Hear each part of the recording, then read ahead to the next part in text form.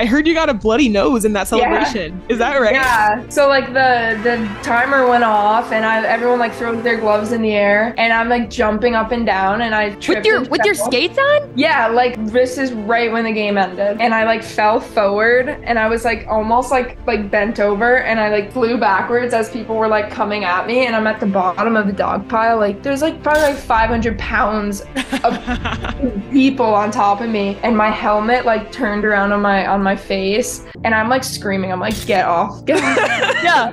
Breathe.